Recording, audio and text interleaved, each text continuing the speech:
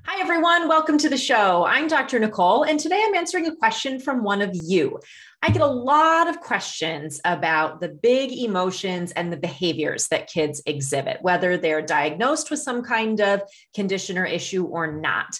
Today, we're going to address behaviors and emotions in the context of kids who constantly seem to want attention. They're interrupting, trying to derail anything that the parent might be doing that doesn't involve them.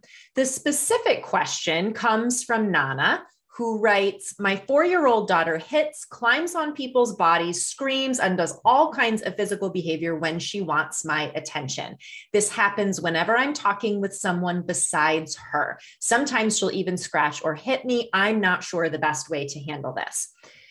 Whether you have a child who maybe gets physically aggressive like that or not, all parents deal with this challenge at some point or another with kids where they do a lot of interrupting. They don't want our attention to be elsewhere. Developmentally, that's really typical of younger kids, toddlers, preschool age kids. Um, but even for kids who have neurodevelopmental challenges, anxiety, some of those kinds of issues, these things can persist past those early ages. So let's talk about as I always start with the big picture, um, what's going on here in the big picture? So, when a child is doing these things, this is a situation where they're struggling with managing uncomfortable feelings. They are having a feeling of really wanting something in that moment, and perhaps the uncomfortableness of not being able to have what it is they want. In this case, the parent's attention. So they're having these big feelings. They're struggling to manage these feelings and they're acting out because of the feelings. And then we've got a parent who's taking on the role of trying to make the child feel okay. And this sets up a really problematic dynamic that we find ourselves in lots of times as parents, especially if we're not aware of it, where kids are having big feelings, they're acting out as a result of those feelings, and then we're making it our job to make them feel okay. And actually, that's not our job. Kids are allowed to feel however they feel that's okay. However, their feeling is is allowed. We need to acknowledge their feelings. We need to make sure that we allow space for them to have their feelings, but that doesn't equate to responding to those feelings every time they come up or taking on the role of resolving them. And it certainly doesn't mean that we should allow a child's feelings, even if they're uncomfortable feelings, to control us that becomes really problematic when we take on the role of oh you're having these feelings. It's not okay. It's not okay for you to have these feelings. You need to be feeling better. I need to fix this so that you're feeling better. That really creates issues. It creates issues for them. If they're not learning to handle their big feelings and that they can manage through them it takes an impact on us because we're allowing our child's feelings and behaviors to control us. And we become really worn out and really resentful about that. So these are not good patterns to be in.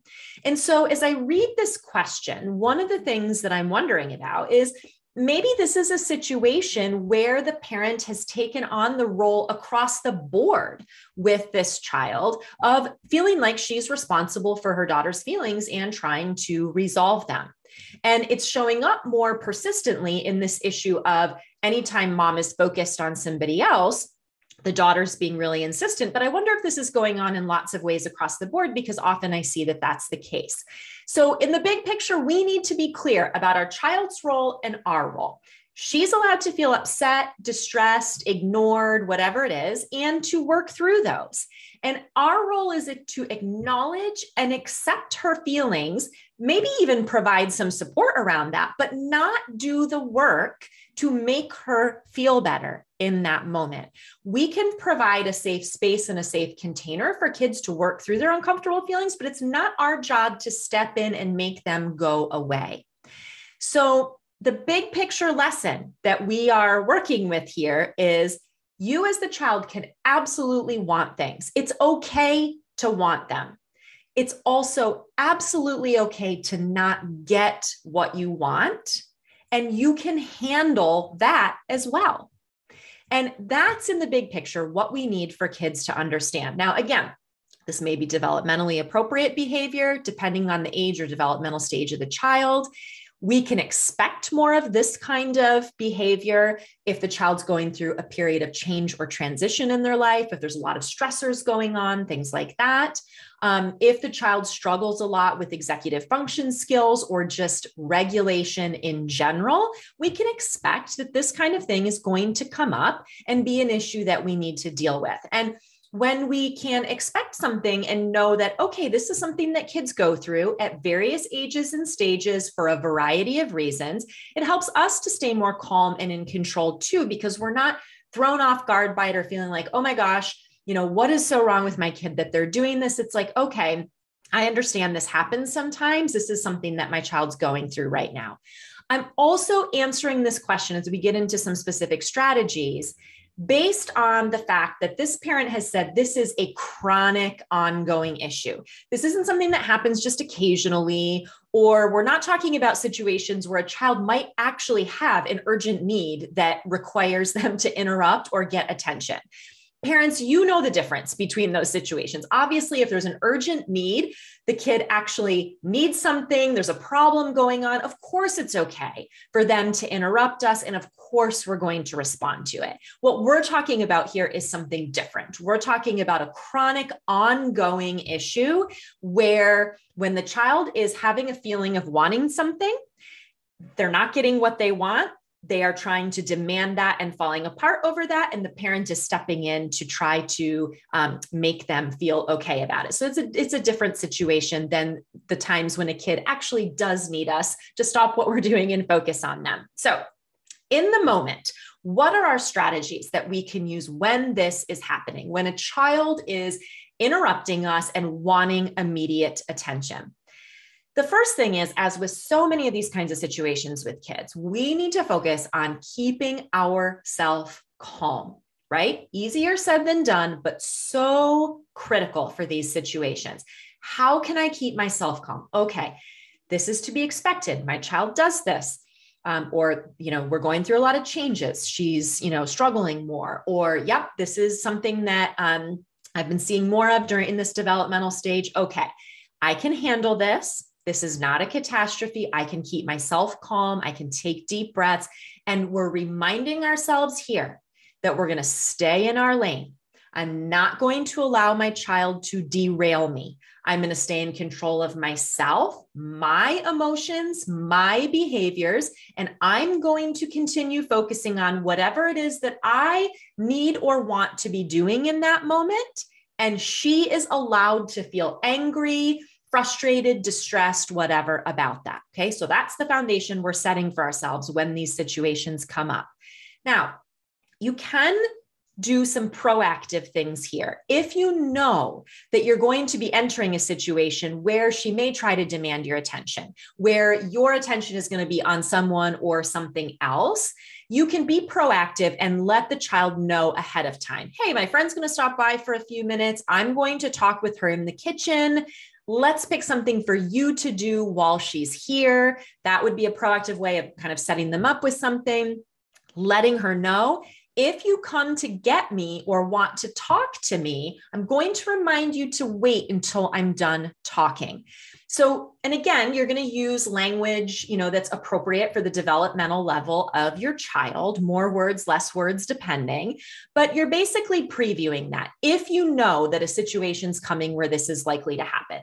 It doesn't mean that the child isn't going to have this challenge in the moment, but by previewing it, we're setting the stage for ourselves kind of reminding ourselves, oh, right, this might happen. How am I going to deal with this? And we're also setting the stage for them, sort of inoculating them a little bit against what might happen so that if it does happen, they're reminded, like, oh, yeah, we talked about this. There's at least some warning for it. And that can be really helpful for some kids, especially.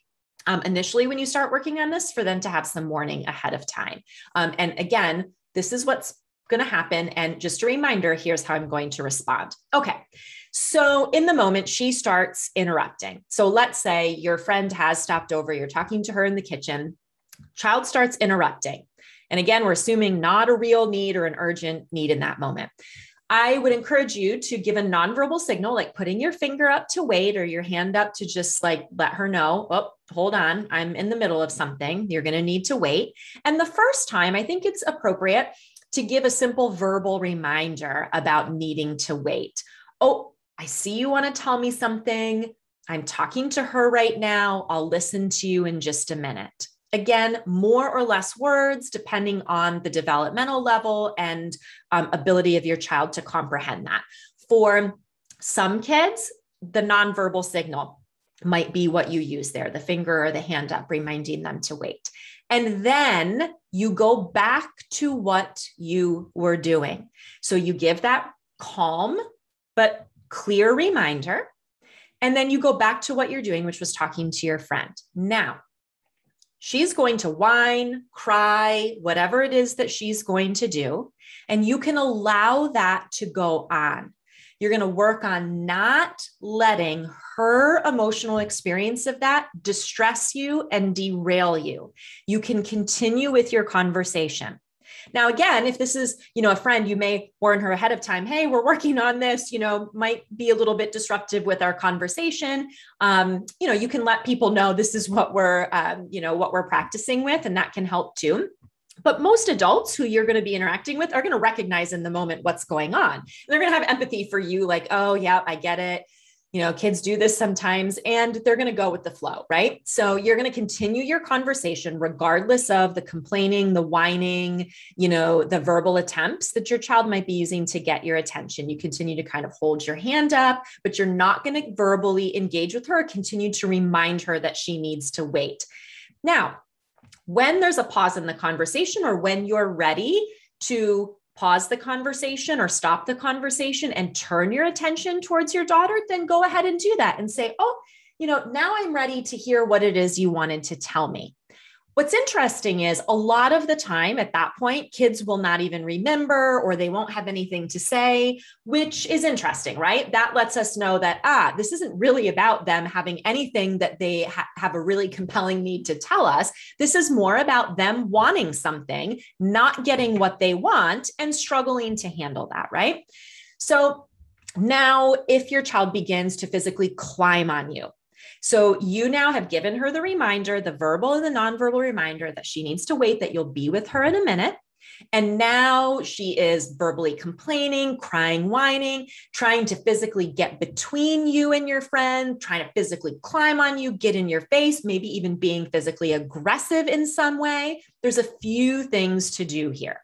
First, you stay calm and focused, not on making her feel better, but on what you need to do to prevent her from harming you and going back to your conversation. This is about a clear boundary of listen, you are allowed to feel how you feel, but I will not allow you to hurt other people or to engage in aggressive behavior. It's a clear boundary. And in this case, you're going to hopefully, as non verbally as possible, be clear about this boundary because you're going to continue with your conversation or with your attention on your friend, but it might look like firmly holding your child's hands as you continue talking.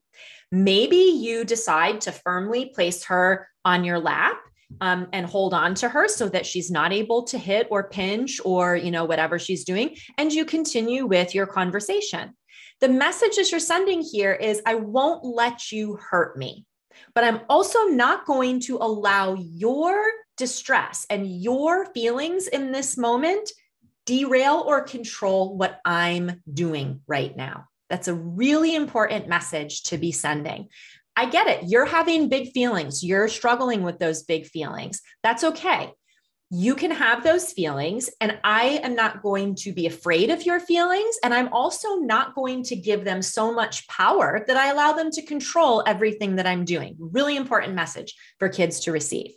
You may decide to move the child to a different space depending on how out of sorts they're getting depending on you know different circumstances. Um, and that might look like calmly pausing your conversation with your friend um, you know, saying something out loud, like, I'll be able to continue talking with you in a minute. I need to help her to her room first, you know, something like that. The goal is for you to stay calm, focused on what you're doing in that moment, not allowing her feelings to derail you. And then you bring her to her room. Maybe you will leave her there, close the door, and leave. And I know that some of you, especially if you are you know, followers of um, things like positive parenting, mindful parenting, gentle parenting, things like that, you might go, oh no, we're never supposed to leave our kid alone in their room. Actually, I think that there are times and places for that. And this is one of them where the child is clearly distressed, not over you or anything else that's going on, but over the fact that they aren't getting what they want. And that's an uncomfortable experience for them. I think it's okay in a situation like this to put a child in another space, to come back, to quickly finish your conversation and move on for that from that and then go back and connect with and address what's going on with the child these clear consistent firm boundaries need to be in place and our kids need to sense in these moments very clearly from us that we are confident about handling the situation. We are confident that their uncomfortable feelings aren't going to hurt them. Their uncomfortable feelings are not an emergency. And we need to be clear about that because a lot of times the reasons why these things persist is because we are feeling like the uncomfortable feelings our kid is having is an emergency that has to be dealt with right that second think about the message that sends to a child in terms of how powerful those uncomfortable feelings are.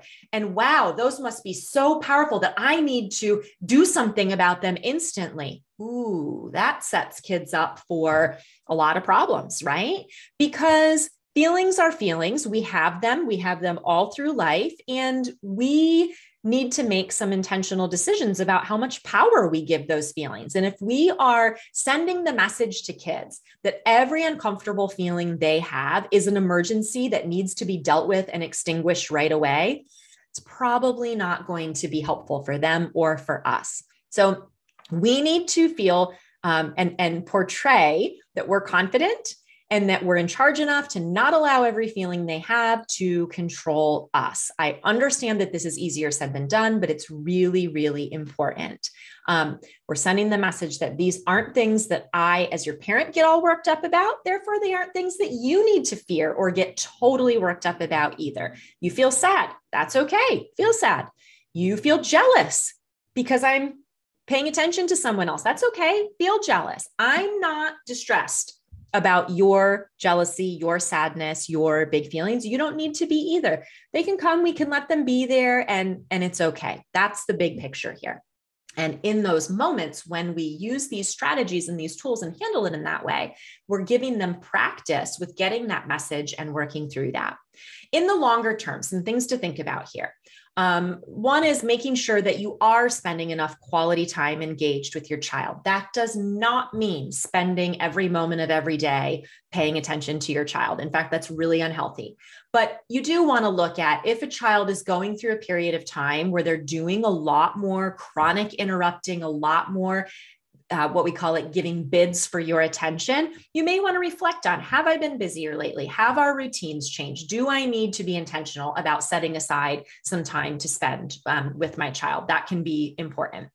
Also, making sure that you are responding to her bids for attention when you're able what I notice happening here, and especially in the era of smartphones and things, is often as parents, we aren't aware of how regularly our kids are giving bids for our attention and we're not responding because we're not even aware because we're busy on our phone or we're, you know, distracted in our mind with something else. And so it may be that a child is trying to get our attention a lot of the time. And even when we are in a situation where we could turn our attention towards them, we're not. And so we want to make sure that there isn't a chronic pattern on our side as the parent of not being responsive to our child's bids for attention when we're able to do that. I also think that some practice sessions can be really helpful here, especially if you have a child where this is not just a developmental phase of them being young, or it's not um, just a temporary thing that they're going through, maybe because of some major changes in their life. Um, I think it's valuable uh, to to practice with this. So you can practice um, and tell your child you're practicing oh i've noticed you have a really hard time you know waiting when i'm doing something else or it feels really uncomfortable to you when you can't have me focused on you right away um, we're going to practice with that so that you learn how to feel those feelings and that you learn that you can be okay with that. So you can stage some pretend phone calls and tell them, we're going to practice with this. I'm going to pretend to answer the phone. I'm going to talk to my friend. You're going to practice waiting and you can set up different practice sessions. You can practice with talking to your partner or another adult who comes over, maybe a grandparent or something, and you tell them, you say, We're going to do some practice with this. She's working on this. I'm working on keeping myself calm. She's working on waiting and being okay um, with that. And you can do some practice sessions with other people. Keep them really short initially where you're talking to someone else and literally you have your child wait until you finish that sentence and then you shift your focus to her to hear what it is she has to say or whatever. And then you extend it out over longer periods so that your child gets more comfortable with the emotional experience of waiting of not having what they want right that second and builds the trust that you will shift your attention you will pay attention to her um, when it's appropriate when you're ready to do that okay so, practicing can be helpful. I also think in a situation like this, it's really valuable to take some time away from your child consistently, even for short periods throughout the day. So, she starts to get more comfortable with not constantly being with you or constantly being the center of your attention. So, that could look like something as simple as I'm going to fold laundry on the bed, you stay in your room with your toys, or you can go outside with dad. And if she's not going to choose one of those other things, then you choose for her. And probably it's sending her outside with dad, who can keep her outside while you fold the laundry for even five minutes. This idea of we can be separate from one another. I can be in control of my time and do the things I need to do. It doesn't, you know, being a good parent doesn't mean I'm constantly attending to you and constantly focused on you and constantly spending time with you every time you want to do that. Okay taking time for yourself behind a closed door where you do not respond to your child's bids for attention. Some parents don't even go to the bathroom or shower alone because the child wants to be around them all the time. This is not good for you or the child. So, practice setting boundaries around going to the bathroom, closing the door and locking it, and then paying attention to them when you're done and come out, taking a shower, getting changed in your room. Maybe you go into your bedroom and close the door to have a phone call in privacy. If you're noticing that you have really um, shifted a lot of the routines and the things that you would want to do or prefer to do independently or with some privacy, to having your kid there all the time because that's what is comfortable for them. I want you to analyze that and start to set some boundaries around that across the board. That's going to help with all of these things, including the interrupting when you're talking to other people. It's so critical that kids understand that they may want to constantly have a parent's attention and it's okay for them to want that, but they're not going to get that. And that's also okay, that they can handle the experience of wanting something and not getting it. Um, two other quick thoughts, and I touch on this a lot in these kinds of episodes where we're talking about chronic irritability, dysregulated behavior, these kinds of things always keep in mind the role that nutrition and sleep may be playing in these kinds of things.